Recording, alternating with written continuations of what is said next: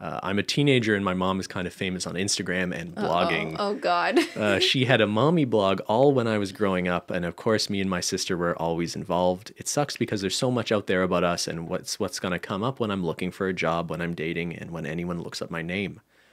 Uh, I found a website that will print custom jackets, print all over the front and back and arms, and I ordered some hoodies that say a bunch of phrases all over them, like "No photos, no videos. I do not consent to being photographed."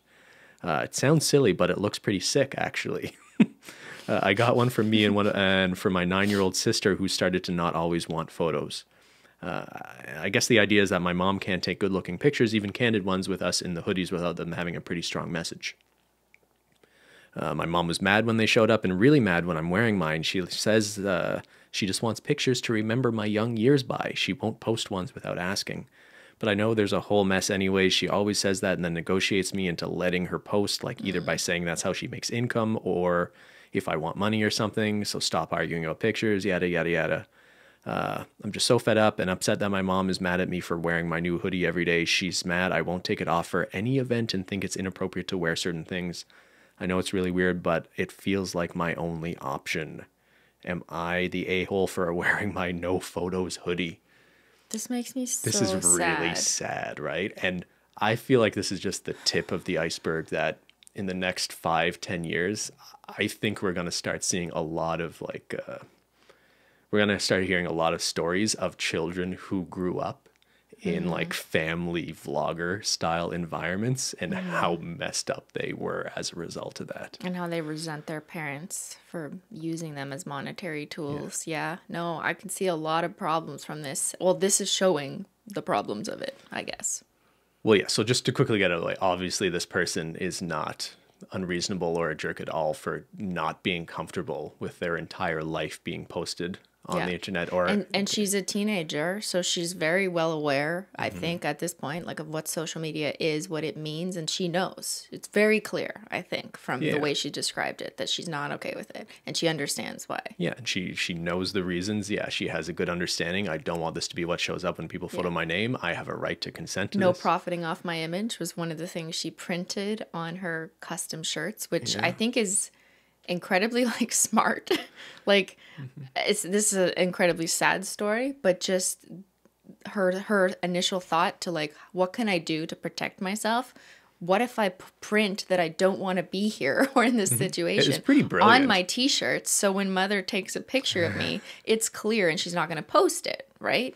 I think that that's really smart. So I guess the only like there I don't see much gray area in this at all. I think it's a pretty clear situation where the mom is being unreasonable and treating her children like commodities, right? But do you think family vloggers But that's the thing. would disagree with you and say, well, there is gray area because yada yada, I have the right to exploit my children? I just I don't know where to draw the line. It's not entirely clear to me where that line should be because Mm-hmm. is it inappropriate to put your kids on the internet at all? I don't. I don't think I totally buy I think, that. yeah, we've had this discussion many times. Um, and I think it's it's ultimately hard for us to have a real answer because we are Mm-hmm. not parents. And if we had children, we might come up with a particular you know rule set that we are comfortable with and it might be Mm-hmm. different than other people i, I don't really know and i'm not going to say what is best for other people's kids because they're not my kids and it's up to the parent Yeah, it's tough. And uh, yeah, we're not going to come down with our rules on this, but you know, and we know people. We're friendly with people who have had uh, child vlogging content or made child vlogging content, and uh, you know, for like as a genre on YouTube for new young mothers to be able to watch content from other mothers about raising young children, I like I could see that being somewhat valuable. But I guess I am just still hypersensitive to people just trying to make money off of their kids, especially when the kids are old enough to be recognized and start developing their own identity. Yeah Like that seems to me like a pretty clear line. Or even us, like obviously we don't want kids or anything, but I don't think we'd like there'd be all sorts of privacy concerns and things like that. You know, like you could have weirdos showing up at your kid's school trying to meet them because they're mm-hmm. kind of famous. yeah I just feel like we're gonna there's gonna be so many crazy stories about some of the the the, the kids of the Ace family or the daddy of five kids when they grow older. And we've seen examples like that of uh, child protective services having to to get involved and even like take kids away out of these situations.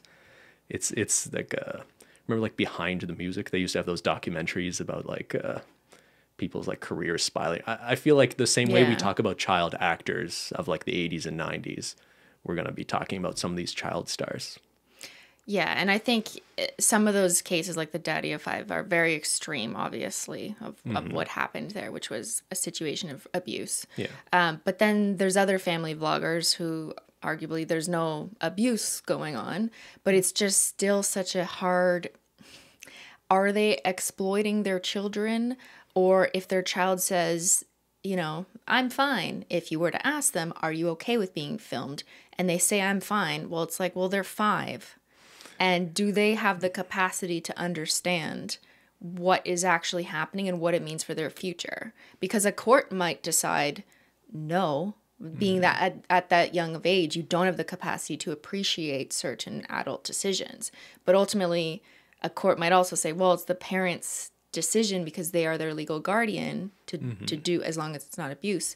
But I guess the question is like, yes, it's not abuse, but is it some form of exploitation? And it's really hard to say mm-hmm. what's okay because you don't really know until that child grows up, looks back, and you know has the now adult capacity to reflect and say, "I was okay with being in the bath in that video," or "I'm not okay with the fact that mm-hmm. that happened." Or with the fact my like so much of my childhood my just life, exists yeah. on the internet. Or an you know? embarrassing moment happened to them. I don't know, you know, that mm-hmm. their mom thought was cute and made an entire vlog about it. Like, and yeah and i think it's it would be very charitable to think that all these parents are doing it you know purely in the interest of their child right? I think it's pretty obvious that's at least not always the case. I think you can even recognize sometimes even with some of the bigger young internet stars whose parents sometimes kind of get involved and they make like oh my daughter's hugely popular now. I'm going to make our family channel so i can also be famous. Like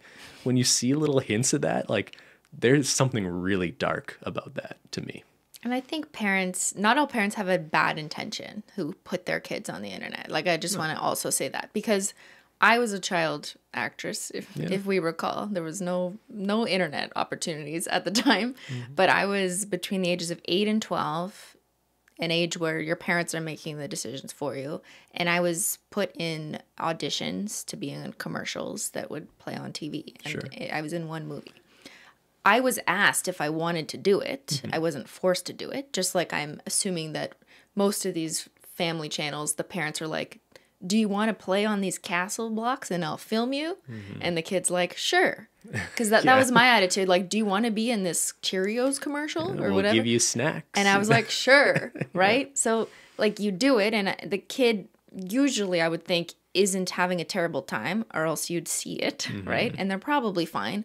But I had zero appreciation at that age of that there was an income coming out of it. I mean, like, maybe I kind of knew, but I had no idea how much, with the value of it, whether or not it was worth it for, for my work. Like, I, I don't know any of this. And mm-hmm. my only representative was a parent. yeah Now, my parents, I think, ultimately acted in you know my good goodwill and wishes that I wanted because when I was thirteen, I I in part said I didn't care to do it anymore, and they mm-hmm. also wanted me to focus on school. So for me, it was like a good end of story.